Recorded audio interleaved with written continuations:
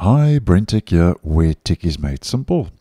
So, Microsoft has rolled out the latest optional bug fix C release update for Windows 10, which they pushed out late yesterday in my part of the world on the 25th of March. Now, once again, the update is optional, so you don't have to install it. And as I always say with optional updates, only install these preview updates that roll out near the end of the month if you are experiencing any issues with your system, else just ignore the update because it most of the fixes will be carried over into the Patch Tuesday update rolling out in the following month on the second Tuesday. Now, the update for this month is KB 5053643 and is a non security bug fix update. Now, Microsoft has listed a highlight for the update where the update provides Noto CJK, which is Chinese, Japanese, and Korean fonts in Windows. That's the highlight, according to Microsoft, for this update. And then, because it is a bug fix update, there are one, two, three, four, five, six bugs that have been fixed. So I'm just going to mention all of these because it's really a minor update at the end of the day. Now, the first improvement Microsoft says is that they have updated the mobile operator profiles where country and operator settings asset profiles are updated. And then there is a thumbnail fix, which I think is quite important if you were experiencing any issues with your thumbnails,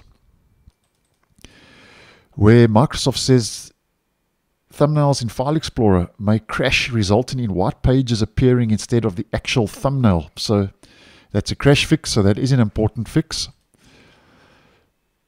And then the update enables system processes to store temporary files in a secure directory, which Microsoft says reduces the risk of unauthorized access.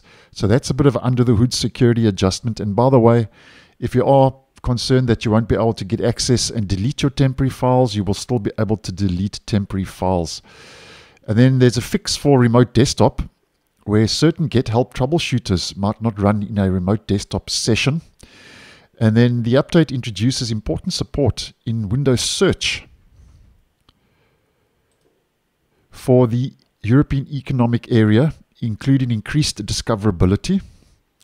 And here's another important fix the update um, addresses where, where there is a fix for a known issue where USB connected dual mode printers that support both USB print and IPP over USB protocols might unexpectedly output incorrect or unwanted text. So that's a known issue that has been addressed with this latest update 5053643. So if you did experience that issue, then make sure you get the update installed sooner than later. And then over and above that, they have made improvements to the servicing stack, which improves the reliability of the update process to mitigate potential issues while installing updates. And those servicing stack updates are common with most of these optional updates that do roll out near, near and towards the end of every month. And if you do decide to install the update, just to head over to WinVer to see About Windows. And after the update has been installed, Windows 10 version 22H2, the OS build will be sitting on 19045.5679. So thanks for watching, and I'll see you guys in the next one.